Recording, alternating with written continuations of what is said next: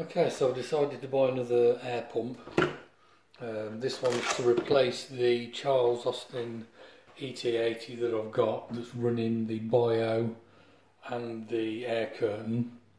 And then I'm going to use the ET80 to run my um, centre dome aerator um, on a timer just to come on for a couple of hours each day just to give a bit of a boost to the circulation in the pond. Um, so I thought I'd try this one rather than get another Charles Austen because the wattage looks to be lower. Um, 60 watts it says on the box 100 litres a minute um, I've had people say that some of the Jecod pumps are not as powerful as some of the branded pumps like the Charles Austen or the Hiblows so I went up a rating on the ET80 that it's replacing because I could probably use a, a, little bit of extra air going into the air curtain as well. So we'll see how this one performs. Um, I'll put a watt meter on it and see what watts it actually draws when it's running um, compared to what it's stated at I know me ET80 doesn't use anything like the 85 watts that it's rated at it runs at about 65 on my meter so I'll compare the two and see what the uh, rating works out at. It's certainly not a very light pump. And what do we get here? Manifolder I won't use, the rubber booster I will a couple of spring clips to hold that on. Outlet looks a reasonable size, it's not going to provide too much restriction. It looks quite solid. It's certainly heavy enough. I'll get that set up then and uh, see how it works compared to the ET80.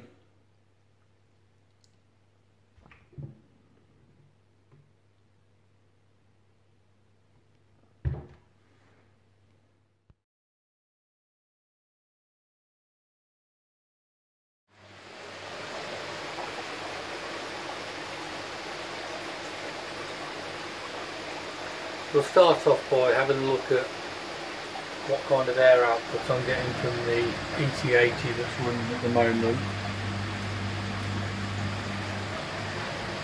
That's the bio.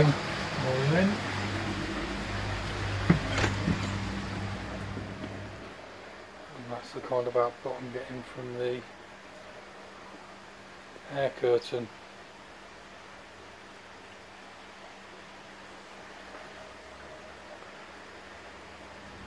We'll see if I get a similar or larger output once I've connected up the new Jecod MA100 pump.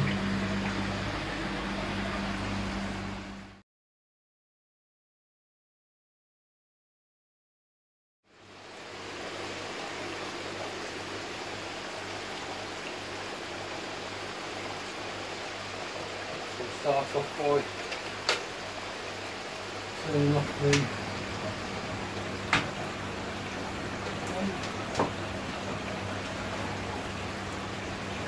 spin this round. Taking my connector pipe off. Move this one out of the way for now. And I'll just set this up again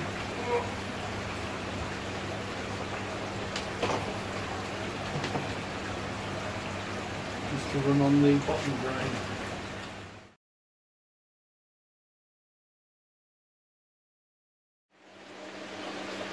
Just comparing the two sizes of pumps, they uh, they feel a similar kind of weight, and this one's Jecod's slightly smaller than the Charles Austen.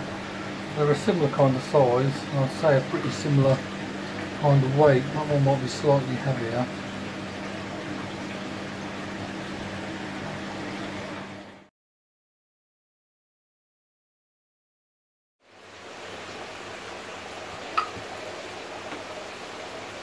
see how well this one replacement. Too far off the size.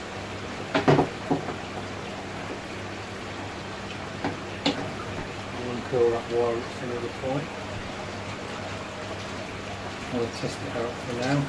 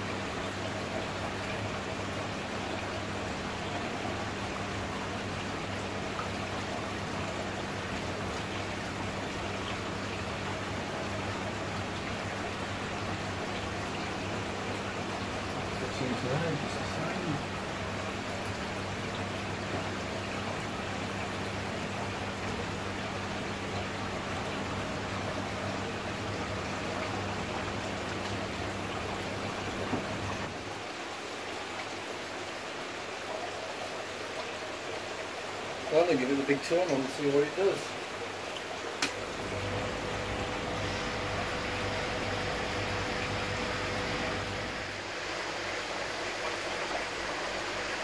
Yeah, that bio definitely needs turning down a bit.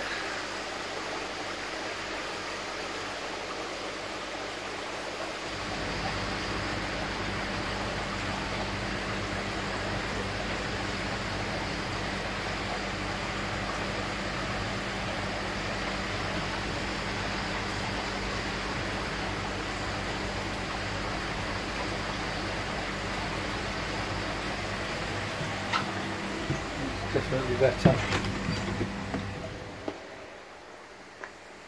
Yeah. Oh yeah, there's way more air coming out of this now.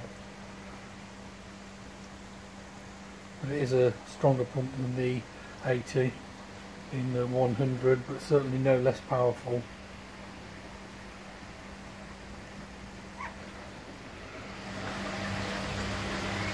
Um, and noise wise, I think it's probably a little bit quieter than, than the Charles Austen and that has been running for a while so it was quieting down a lot which this will probably do once this has been running for a, a few weeks.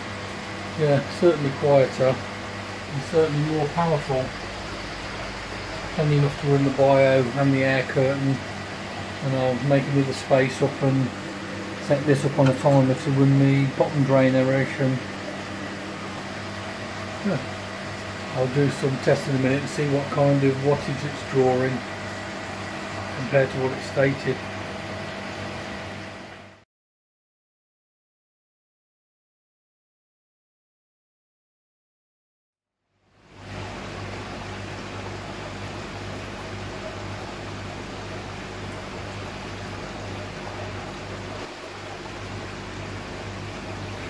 Running at 59 watts which is a lot less than the 85 it's rated at but it's producing a lot less air than the, uh, the MA100 so I'd say they're about half of the course energy wise that's producing less air but it's using less watts.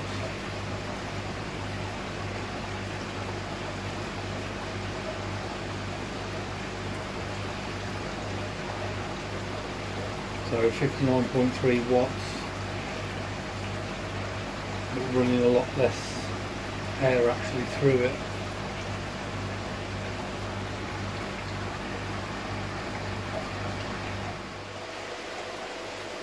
So this is the Jecod MA 100 running off the watt meter.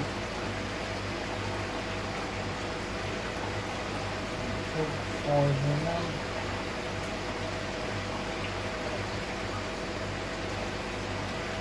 So it's pulling 67 watts.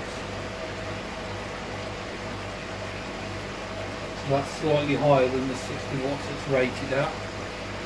But it is producing a lot more air than, a, than an ET80 is. Running at 67.7, 67.8 watts. So using 7 or 8 more watts than the ET80 but providing uh, quite a bit more air as well. So watt for watt about the same I'd say, slightly more powerful pump obviously the MA100 over the ET80. It's certainly a bit quieter and uh, quite a bit cheaper at uh, £99 delivered.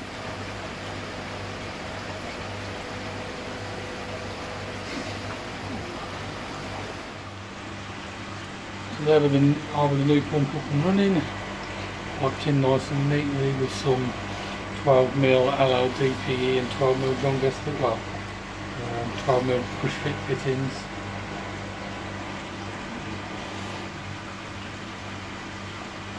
say overall it's a little bit quieter than the ET80 and putting out a little bit more air. Um, hopefully when that wears in and breaks in a bit it will uh, get a bit quieter as well as the ET80 did when that was brand new. It made a hell of a racket.